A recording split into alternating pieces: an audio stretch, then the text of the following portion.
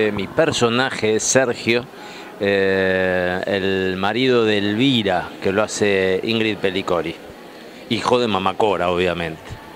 Bueno, yo creo que es, romper un poco ese allá, ¿no? No, no, estamos ni tan lejos ni somos tan eh, diferentes, creo que hay que romper con esa barrera y este es un buen puntapié para para cambiar eso, eh, esto es una coproducción entre el Cervantes y el Auditorium, me parece que el Auditorium tiene la posibilidad de empezar a, producir, lo cual generaría para todo el, para toda la temporada marplatense, para el teatro en general, posibilidades diferentes para los actores marplatenses y para los actores porteños. Yo creo que puede ser el inicio de algo muy interesante.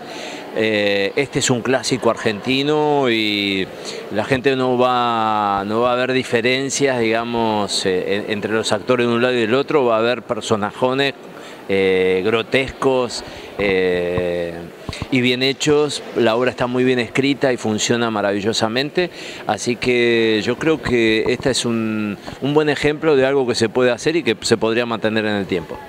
Bueno, con mucho de lo que vio en la película, que ya conoce de los personajes que, le gustaron, hecho por otros actores de maneras muy diferentes, pero que el efecto final me parece que es el mismo. Es una obra muy graciosa, es una pintura de cómo somos los argentinos, tiene varias lecturas. Por un lado, te podés reír simplemente de, los gags que tiene la obra y después podés hacer una lectura de que eso nos muestra un poco cómo somos los argentinos eh, y y como es siempre el humor, ¿no? Es, eh, nos hace reír pero después nos hace pensar. Así que yo creo que Esperando la carroza es una obra que, nos va a hacer reír y, después nos va a dejar pensando un poquito qué, qué de cada uno de esos personajes hay en nosotros.